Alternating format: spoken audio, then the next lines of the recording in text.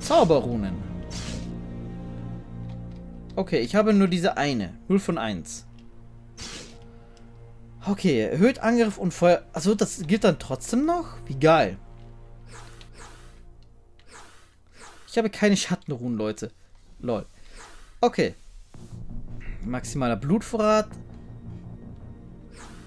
Angriff, Feuerresistenz, Verteidigung. Okay.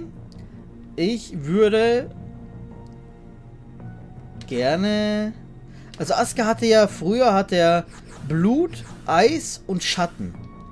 Elaine hatte Blut, Feuer und Status. Und Walner hatte äh, Licht und Schatten. Und ungefähr so würde ich das auch gerne wieder machen. Also ich finde es schade, dass hier die, die, diese Affinität zu den Runen, zu den Zaubern einfach weggelassen wurde, Leute. Finde ich schon schade. Hat mir auch immer so, besonders gefallen, dass, dass eine äh, bestimmte Richtung vorgegeben ist. Ich würde mit, mit äh, Aska jetzt auch einfach anfangen, Leute. Verteidigung und Eisresistenz oder... Gut, Schatten haben wir nicht. Blut, wir machen das hier mal. Zauber erhalten Blutstärke.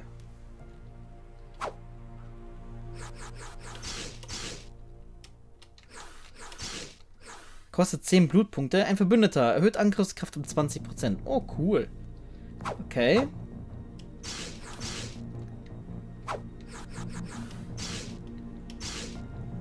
Wisst ihr was? Wir machen das mal durch. Feuerrune haben wir Feuerball.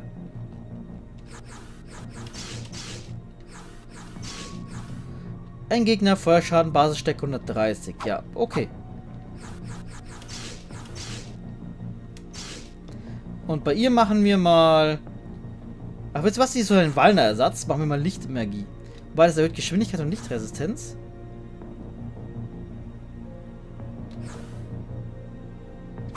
Okay, zurück. Äh, äh, oder nicht zurück. Ähm... Was habe ich ihr eigentlich gegeben? Ich weiß nicht mehr. Ich glaube, vorher... Ich gebe ihr mal den, den hier, Leute. Und du bekommst das hier. Zauber verlieren Feuerball, Zauber erhalten Lichtstrahl.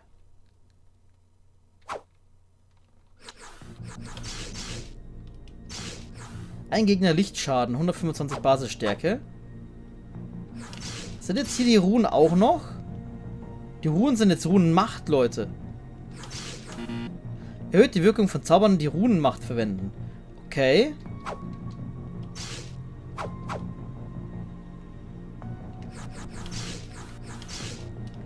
Die hat nichts. Okay. Ähm, dann gehen wir trotzdem mal durch, Leute. Wir, ich würde gerne noch Wasser und Status wissen. Ey, Eis, Eissplitter. Haben wir einen Gegner, Eisschaden 135. Okay. Und wir haben mit Status haben wir Schlaf.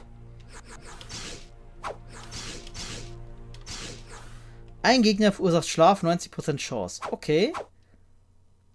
Okay. Interessant. Aber erhöht maximale Lebenspunkte. Das würde mir für Aska tatsächlich gut gefallen. Gut, dann wir halten uns dann halt nicht dran. Dann hat halt jetzt halt Status Magie, Leute. Ähm. Und Elaine hat Lichtmagie, die sie vorher auch nicht kannte. Konnte. Und was Selene konnte, das ist keine Ahnung, aber sie hatte halt Feuerzauber. Okay. Damit bin ich jetzt eigentlich zufrieden, Leute. Wird gespeichert.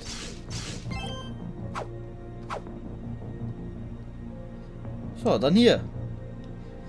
Äh, was ist das denn für ein Pentagramm? Wer soll ich das wissen? Und warum zum Teufel stellst du dich mitten ein?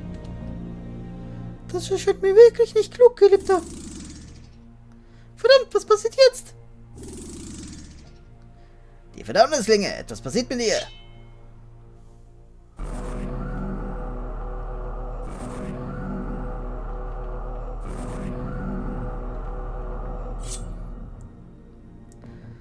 Finde ich auch irgendwie blöd, Leute. Die Verdammnisklinge war Walners Waffe. Aska hat immer einen Säbel benutzt. Und jetzt hat Aska plötzlich die Verdammnisklinge. Naja. Die Macht der Verdammnisklinge ist gestiegen. Die Elrasone hatte die Verdammnisklinge massiv geschwächt. Mittels dieser Pentagramme kann die Verdammnisklinge wieder an Macht gewinnen. Jedes Pentagramm kann aber nur einmal verwendet werden. Dafür wird ein bestimmter niedriger Menschlichkeitswert benötigt. Menschlichkeit steigt und fällt in Abhängigkeit von den Taten im Spiel.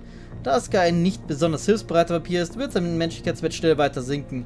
Dies ist grundsätzlich nicht schlimm und auch eine Voraussetzung für die Nutzung der Pentagramme. Aber sollte seine Menschlichkeit unter minus 50 fallen, wird das an manchen Stellen im Spiel Konsequenzen haben. Du kannst Askas Menschlichkeitswert in der Spielstandsübersicht beim Speichern oder Laden eines Spielstands sehen. Es sind viele solche Pentagramme im Spiel versteckt. Versuche sie zu finden, denn die Verdammnisklinge kann dadurch eine extrem mächtige Waffe im Spiel werden. Na schön, ich denke, das war es dann, äh, dann hier für den Moment. Wir sollten zurückkommen, sobald wir ein paar Opfer für die Opfersäulen haben. Jetzt holen wir Elaines Bruchstecker und das Buch. Dann los! Ich kann es gar nicht erwarten, hier endlich den Kopf abzuschlagen. Okay, wie sieht es jetzt aus mit der Verdammnisklinge? Eine Klinge mit der Macht, vampirische Fähigkeiten zu unterdrücken, hat jetzt Geschwindigkeit 4 Punkte und Angriff 18 Punkte. Ich weiß nicht, was sie vorher hatte. Hätte ich gerne verglichen, Leute, aber na gut. Nochmal speichern. So, ich habe das Gefühl, wir kommen, wir sind langsam aus dem Intro raus, Leute. So ungefähr, so fast, bald. Meine Gebieter, wenn ihr nach draußen wollt, kann ich euch auch teleportieren. Sprecht mich dazu einfach an. Soll ich euch nach draußen teleportieren, meine Gebieter? Ja. Und diesmal ist es auch Askas Menschlichkeitswert und nicht mal Alnas Menschlichkeitswert. Also, Wallen ist ja auch immer noch tot, Leute. Ich glaube, dieses Mal ist Aska der Held der Geschichte.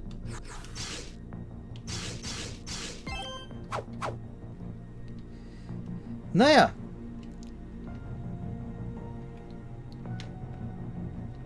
Kann ich mich jetzt eigentlich hier umsehen?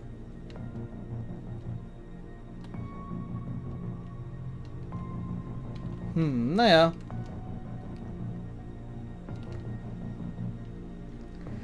Es bloß nicht, uns bezüglich des Buches und den Bruchstücken zu untergehen, Miststück.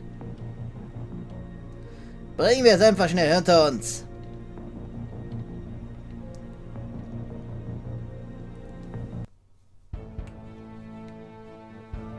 König Garador.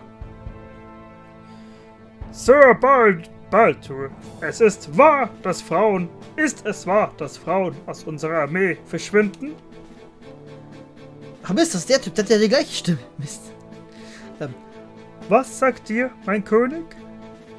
Ich habe erfahren, dass die Soldaten sich Sorgen machen, weil überall Frauen verschwinden.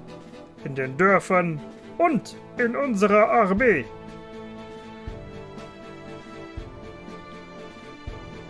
Woher habt ihr diese Aussage? Sir Baltur, gebt mir eine Antwort. Ja, es stimmt, mein König.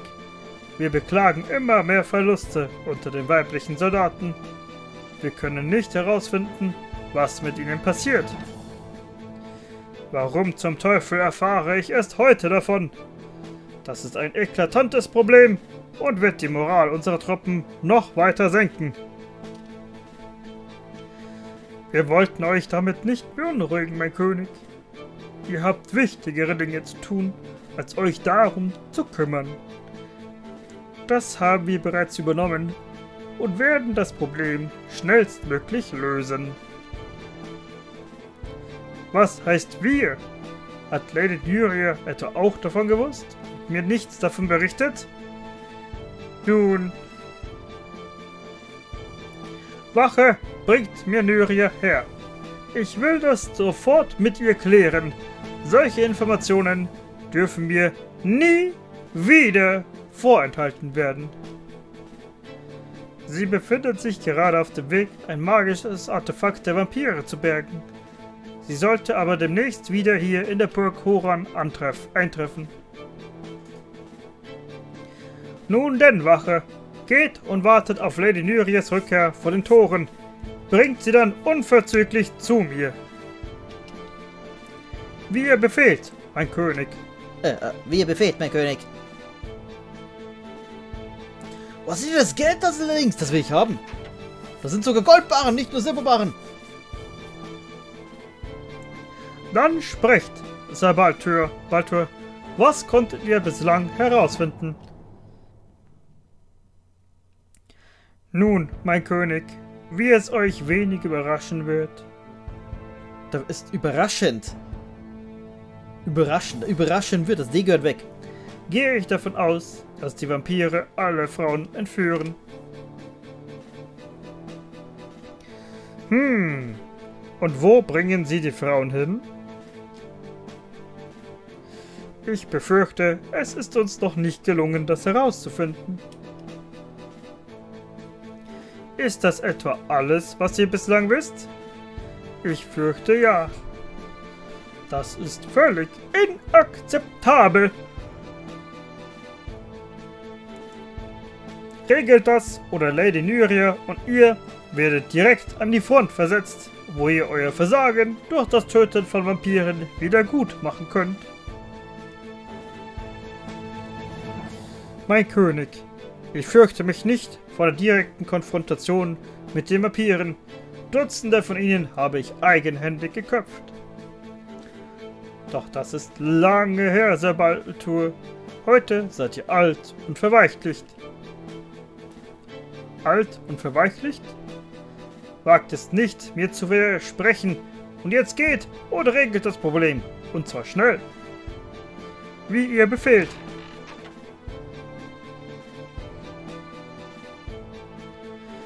Mein König, ihr habt mich rufen lassen? Lady Nyria, euer Erscheinen kommt zur rechten Zeit. Ich komme gerade von einem Einsatz zurück, mein König.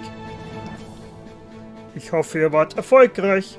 Wir brauchen gute Nachrichten, denn Sir Baltur hatte keine. Was meint ihr? Offenbar verschwinden Frauen aus unserer Armee und unser guter Sir Baltur hat keine Ahnung wohin. Und wie kann ich helfen? Sir Baltur erwähnte, dass ihr ebenfalls von diesen Vorkommnissen wisst. Und so frage ich mich, wann ihr mich darüber in Kenntnis setzen wolltet. Nun, sobald ich ausreichend Informationen habe, wollen die Frauen verschwinden.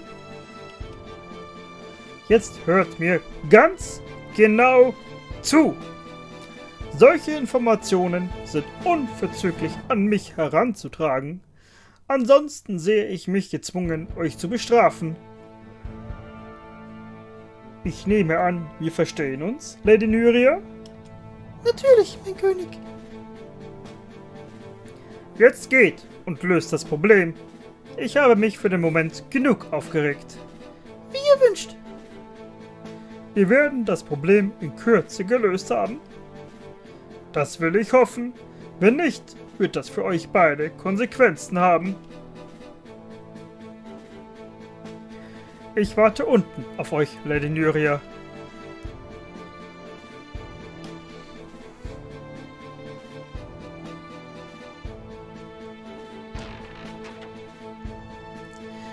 Ich werde in Kürze von meinen Fortschritten berichten, mein König.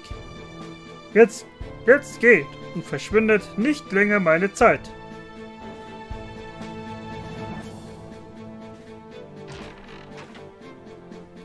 Wache, bringt ein Weib in mein Gemach. Dieses Gespräch hat mich erzürnt. Ich benötige jetzt etwas Entspannung. Wie ihr wünscht, mein König.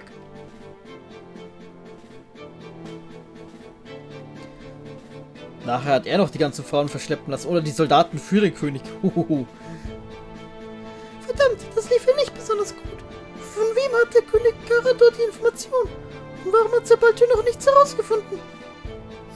Schon viel früher selbst darum kümmern sollen.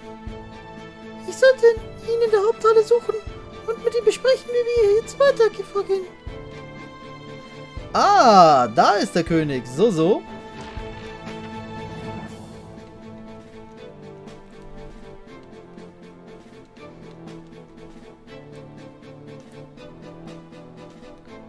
In der Haupthalle. Wo ist die Haupthalle?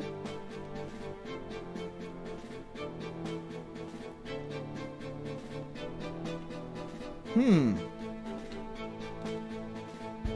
Das hier doch, oder? Hier ist der Eingang. Ich muss mit Sebaltür reden. Okay, wo ist der Typ? Irgendwie ruckelt es jetzt plötzlich, Leute. Seht ihr das? Oh, jetzt hat es aufgehört.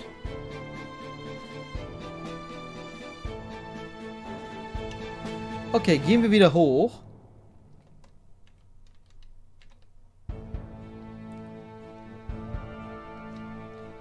Möchte ich aber wissen, ruckelt das wieder, wenn wir hierher gehen? Nein, dann war es nur ein zufälliger Fehler gerade. Naja. Okay, wo ist Zerbalto? Ich dachte, ist das hier nicht die Haupthalle? Wo ist die Haupthalle?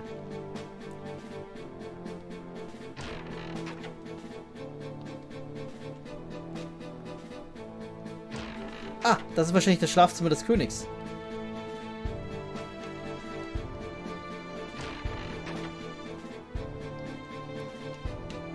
Bibliothek. Wo ist der Typ?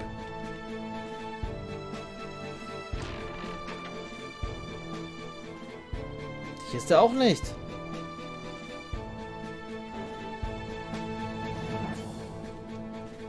Das ist er, glaube ich, nicht.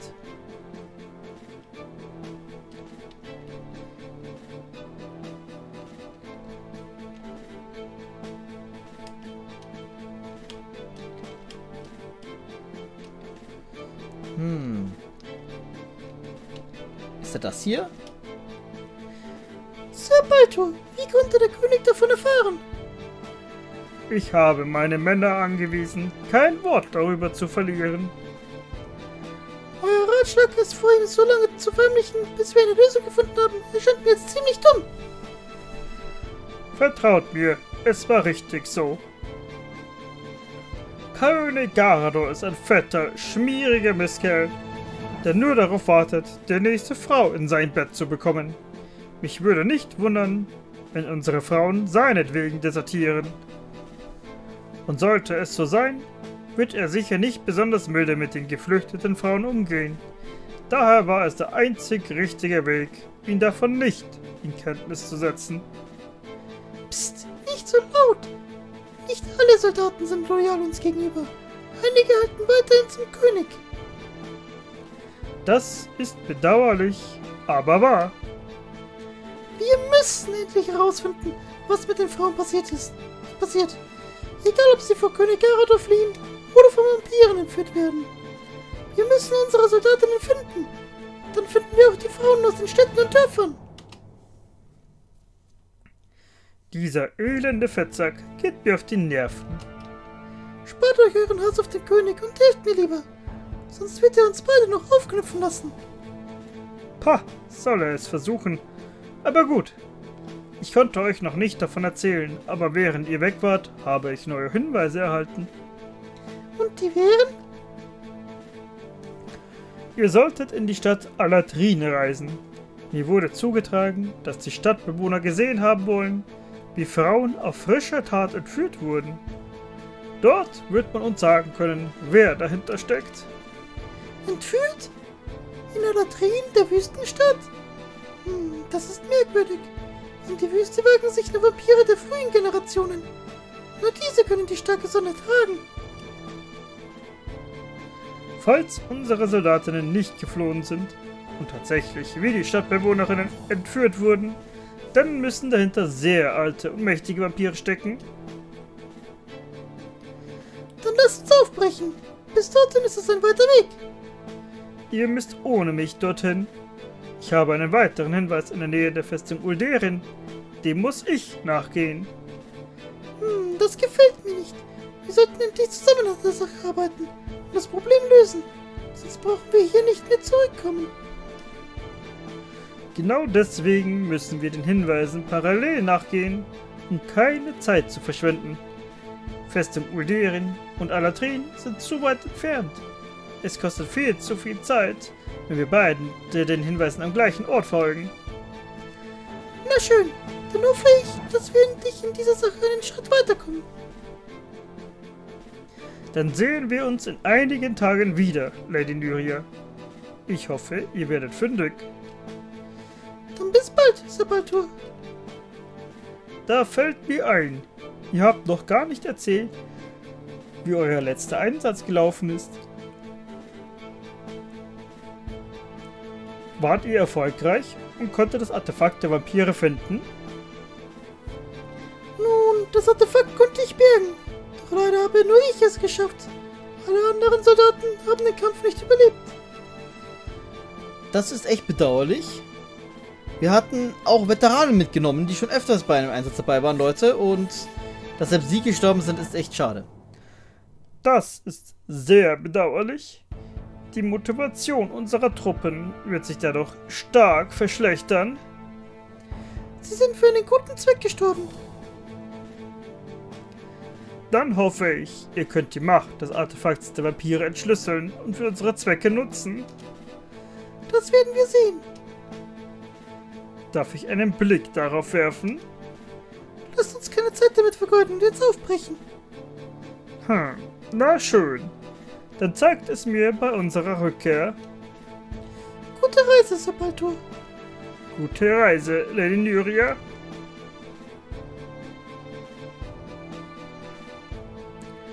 Aladrin also. Weiter weg ging es wohl nicht. Egal. Ich habe das Buch und sollte jetzt in meine Unterkunft zurück, mit Jaina zu reden. Ich hoffe, sie hat mitbekommen, dass ich wieder hier bin. Okay.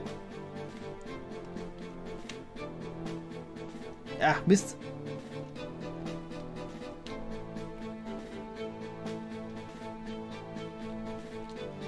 Kurz speichern.